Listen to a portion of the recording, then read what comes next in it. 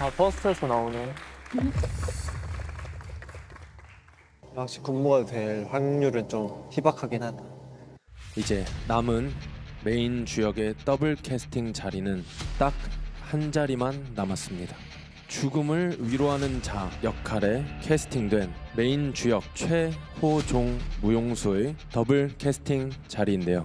강하고 부드러운 양쪽의 모든 표현력을 느낄 수 있었던 것 같아요. 굉장히 안무가한테는 꼭 필요한 무용수라고 생각이 듭니다.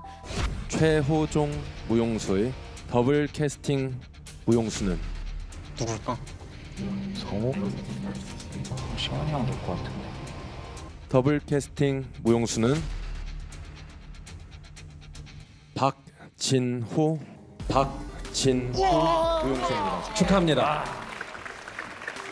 박진호 축하합니다.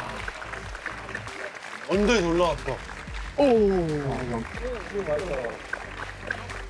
여기가 좋던데. 진호 무용수가 되게 좋더라고요, 저도. 테크닉도 괜찮고 표현적인 것도 굉장히 강렬하고 굉장히 유려하게 표현하고 있어. 여기는 만장이에요, 만장. 박진호 무용수 어, 지금 울고 있어요. 눈물을 지금 훔치는 걸 봤는데 아 근데 진짜 울 수밖에 없다. 언더에서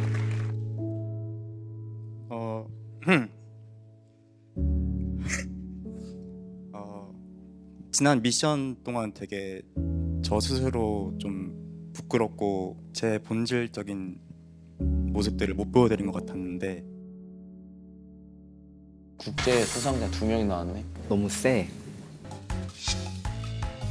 second 계급 박진호 무용수입니다. 수고하셨습니다.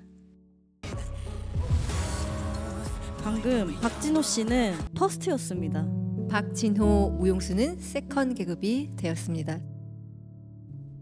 second 계급에서 under 계급으로 강등되었습니다. 목표로 하는 게 자꾸 안 이루어지니까 나 왜 자꾸 인정을 못 받나 내가 무슨 문제가 있길래 자꾸 이렇게 놓치지? 간절함이 컸던 것만큼 좀 그냥 속에서 좀 들끓었던 것 같아요 그래서 이번 미션이 좀 간절했던 것 같아요 진짜 마지막 기회라고 생각을 했고 정말 전 죽을 힘을 다 했어요